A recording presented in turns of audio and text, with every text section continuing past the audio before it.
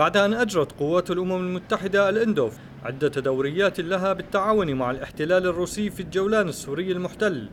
رئيس المركز الروسي لمراقبة الهدنة في سوريا قال إن الشرطة العسكرية الروسية تقوم بالتنسيق مع قوات حفظ السلام التابعة للأمم المتحدة لاستئناف عمل دورياتها على طول مرتفعات الجولان.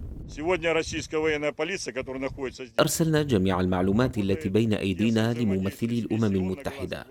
وسنقدم كل مساعدة ممكنة إلى البعثة لتمكين أعلام قوات حفظ السلام من الظهور مرة أخرى في المنطقة المنزوعة السلاح. وعندما يرون أنهم يستطيعون إنجاز المهمة بدوننا سننسحب من هذا المكان.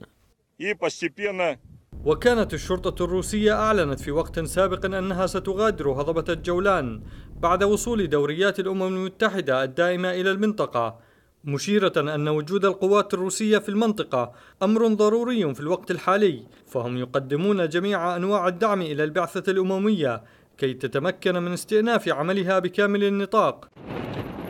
الاحتلال الروسي كان قد أعلن أنه سينشئ ثماني نقاط مراقبة له في المنطقة منزوعة السلاح بالجولان السوري بموازاة النقاط التابعة لقوات الأمم المتحدة الإندوف بعد أن سيطرت ميليشيات أسد بدعم من الروس على المنطقة بعد اتفاق مع الفصائل قضى بترحيل الرافضين للاتفاق إلى الشمال السوري.